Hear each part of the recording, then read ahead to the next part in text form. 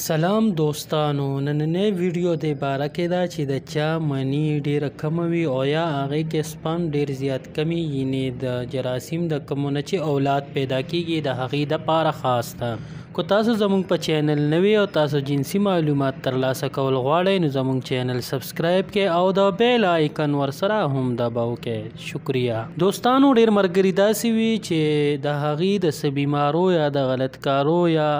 هسې هم یو بیماری هر انسان ته راتلی شي نو د هغې جراثیم ډیر کم وي او د اولاد قابل نه وي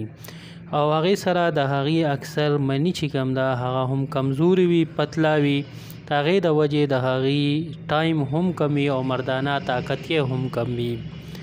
د هغې دپاره درته صرف یو څیز یادوم چې هغه استعمال کړئ نو تاسو به انشاءالله ټیک ټاک شئ تاسو به والی سالب مصری صالب مصری په باره کې حکیمان لیکي کو یو کس صالب مصری یو توله وخوري او 24 ګنټې خوراک ونه کړي نو دی ته به څه قسمه کمزوري هم نه راځي صالب مصری به والی دا به خو پوډر کې او د دې نه به د چمچ څلورمه حصه یعنی داسې د جوار وړی دانی عمره